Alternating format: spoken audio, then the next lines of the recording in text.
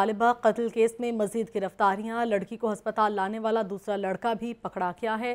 Police के मुताबिक दूसरे नौजवान की शनाख्त ओवैस के नाम से हुई। इस कत हमल करने वाली खातून समेत दो अफराद को भी हिरासत में ले लिया गया है।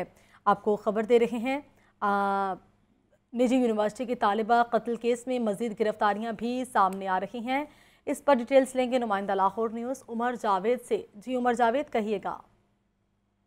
इसी अस्पताल में लड़की को छोड़ने का जो मामला है, उसके अंदर पुलिस ने पहले जो सीसीटीवी में मुलजिम नज़र आ रहा था, उसको गिरफ़्तार किया था और अब उसकी निशानदेही के ऊपर पुलिस ने उस लड़के को भी गिरफ़्तार कर लिया है जो गाड़ी चला रहा था और पुलिस राय के मुताबिक मुलजिम की शनाख्त अवैध के नाम से हुई है, जबकि हस्काते हमल करने वाली दो खातन जो है और एक उनका जो साथी है, उसको भी जराये बता रहे हैं कि हिरासत में लिया जिनसे तफ्तीश की जा रही है।